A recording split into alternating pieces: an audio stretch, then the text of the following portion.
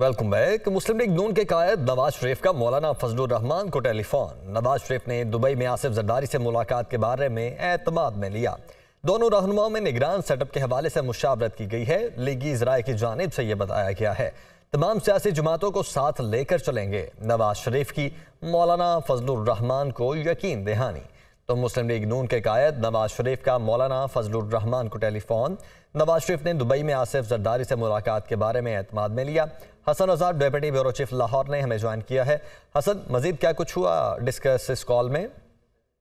देखिए, मुस्लिम लीग नून के कायद नवाज़ शरीफ का मौलाना फजल रहमान को टेलीफोन पर रबता हुआ और कायद मुस्लिम लीग नून ने दुबई में आसिफ अली जरदारी से मुलाकात के बारे इतमाद में लिया।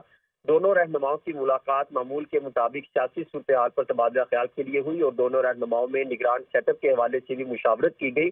लीग नून के अहम जराये का यह दावा है कि दोनों रहनुमाओं में निगरान वज़ीर आज़म के नामों के लिए भी जो है वो मुशावरत की गई।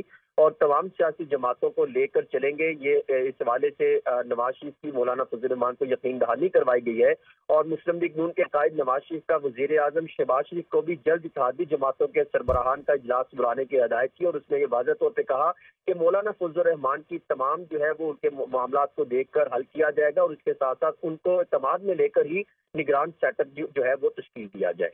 ठीक है, बहुत शुक्रिया आपका।